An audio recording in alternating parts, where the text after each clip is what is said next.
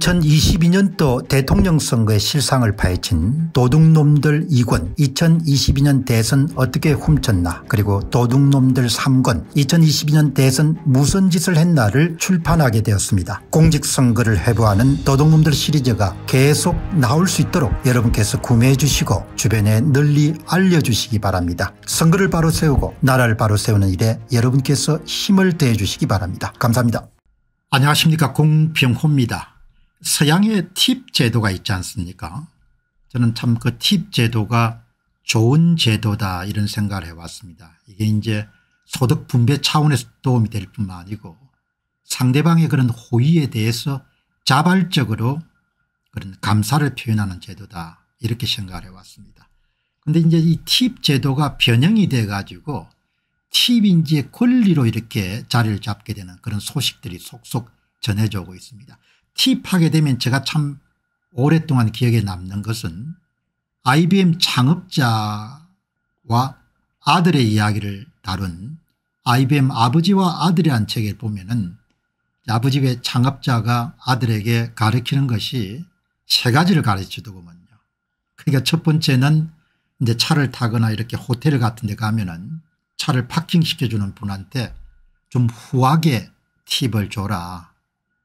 그게 첫 번째고 그 다음 이제 두 번째는 그 당시 아마 그분들이 뉴저지 아마 저택이 있을 것 같은데 뉴저지에서 이제 맨하탄까지 이렇게 열차로 통근을 할 때 그때 되게 열차 내 화장실을 사용하게 되면 반드시 용물을 마친 다음에 휴지 타올 같은 거 아주 깨끗이 이렇게 닦아서 뒤에 사람들이 들어올 때 네가 누군지를 그 사람들이 알 수가 있기 때문에 주의를 해야 된다.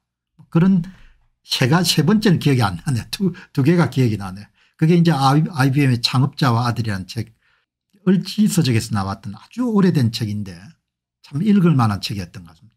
수십 년 전에 읽었지만 아주 좋은 내용을 담고 있었다. 그 사이에 이제 아버지와 아들의 갈등도 많이 다루고 막상 이제 아버지가 떠나고 난 다음에 아버지의 그런 그 책임이 얼마나 컸던지를 늦게 깨달은 아들의 그런 후회도 좀 들어있고 이런데 최근에 이제 LA를 방문했던 한 분하고 만났더만 그분이 이런 말씀을 하시더라고요. 아니 이번에 이제 식당을 갔더만은 식당에 한 20% 정도를 팁을 그냥 그 영수증에 그냥 박아 가지고 그냥 요 그냥 팁이 나오더라 이 이야기 하나 하고 그 다음 두 번째는 아니 그 팁인데 그 팁에 세금까지 포함한 전체에다가 20% 가까운 것을 때려 가지고 식사 비용보다도 배꼽이 더 클 정도로 부담을 느꼈다. 상당히 불쾌했다. 그런 내용을 말씀을 하시더라고요. 이 저 코로나 겪으면서 너무 많이 변한 것 중에 하나가 팁 제도가 너무나 왜곡이 돼버렸다. 그렇게 이야기를 하시더라고요. 그래서 제가 검색을 한번 해보니까 예. 그게 사실인 모양입니다. 이게 2023년 4월 기사인데 이 오렌지 카운티면 한국인들이 많이 사시는 곳이죠.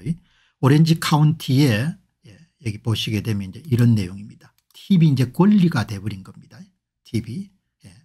이제 오렌지 카운티에 보시면은 오렌지 카운티에 거주하는 한인 여성 김모 씨는 최근 오랜만에 외식을 위해 한식당을 찾았고 팁 문제로 언쟁을 벌였는데 4명이 모여 식사를 한 뒤 받아든 계산서에 식당 측에서 4명 이상 무조건 18% 팁을 붙인다면 영수증에 팁이 미리 포함되어 있었다. 한인 식당의 모양입니다.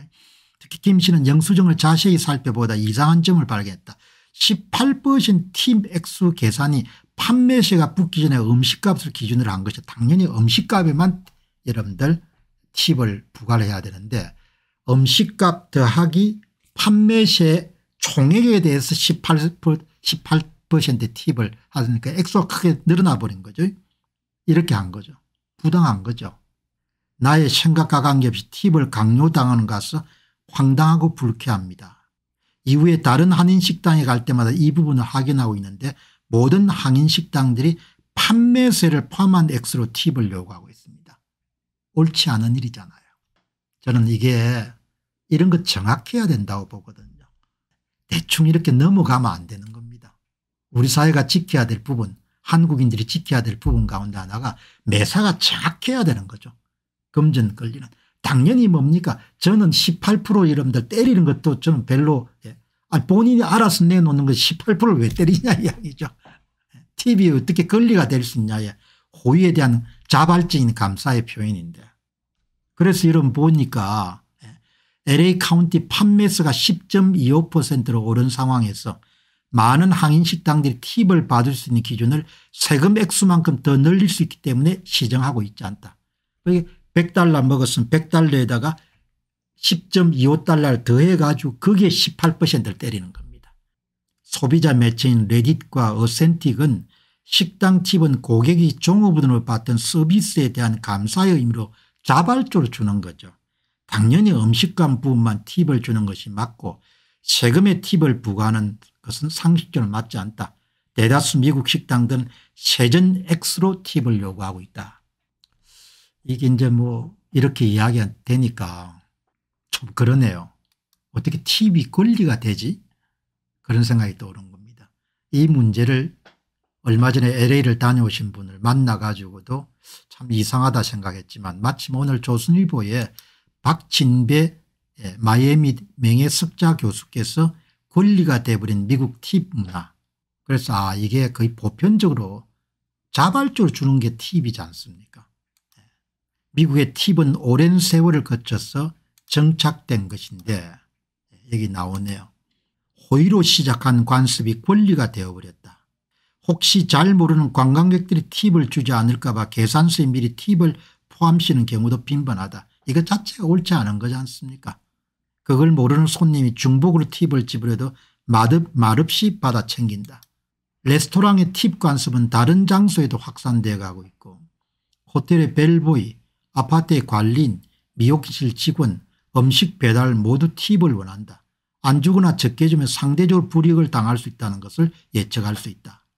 미국인들이 불만을 가지며 체념하는 부분이다. 혹시라도 팁 제도를 도입하는 것을 고려한다면 이런 악마의 거래가 될 것이다. 좋은 제도가 이렇게 악용될 수 있네요. 참, 참 좋은 제도인데 예, 상대방의 호의에 대해서 그리고 사회적 관익이 딱 있지 않습니까 그게. 한 15%에서 20%를 주는 거를 그걸 자발적으로 주는 거하고 영수증이 그냥 찍어서 나오는 건 완전히 다른 거죠. 예. 그래도 절대 우리나라는 팁 제도를 도입하지 말라는 이야기입니다. 음식값이 그냥 20% 오르는 거하고 똑같은 거죠. 근래 팁의 비율이 오르고 셀프 서비스 매장에서 팁을 요구하면서 미국인들은 불편함을 드러내기 시작했다. 이것은 바람직한 서비스 산업의 문화가 아니라는 식이다. 예. 한국을 포함해서 많은 나라의 레스토랑들이 인력난을 겪고 있다. 하지만 이를 위해서 혹시라도 팁 제도를 고려한다면 악마의 거래일 것이다. 옳지 않은 일을 오늘 본 겁니다. 자발적으로 주는 것은 상당히 괜찮은 제도인데 호의를 표현하는 거지 않습니까 감사를 근데 그걸 뭐 예, 영수증에 붙여가지고 그냥 강제로 수거하는 거하고 그것도 여러분들 못 믿어가지고 판매실까지 붙여가지고 팁을 때리는 거하고 영양심 불량인 거죠. 예, 있을 수가 없는 겁니다. 광고 하나 좀 드리도록 그렇게 하겠습니다. 올해 상반기에 여러분들 발간된 대한민국 공직선거를 해본 도둑놈들 시리즈가 5월 6월까지 다섯 건이 나왔고 7월 30일 날 교육감 선거 어떻게 훔쳤나 도둑놈들 6건이 나옵니다. 선거 공정성을 회복하기 위한 노력의 일환으로 이런 책들이 나왔는데 여러분께서 이 선거 공정성을 회복하는 일이 우리 세대뿐만 아니고 다음 세대를 위해서도 너무나 중요한 일이라는 것을 인식하시고 이 책이 주변에 많이 확산될 수 있도록 여러분들 힘을 더해 주시기 바랍니다. 감사합니다. 2020년도 4.15 총선의 실상을 철저하게 분석한 도둑놈들 사권이 출간되었습니다. 여러분께서 구매해 주시고 널리 퍼뜨려 주시기 바랍니다. 선거를 바로 세우고 나라를 바로 세우는 정의로운 길에 여러분께서 적극 힘을 더해 주시기 바랍니다. 감사합니다.